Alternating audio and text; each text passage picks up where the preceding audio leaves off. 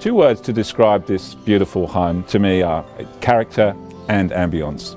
So difficult to find with this backdrop of Pittwater and the ocean as well. Um, it truly ticks so many boxes and when you're trying to source a very unique estate, this is truly without peer.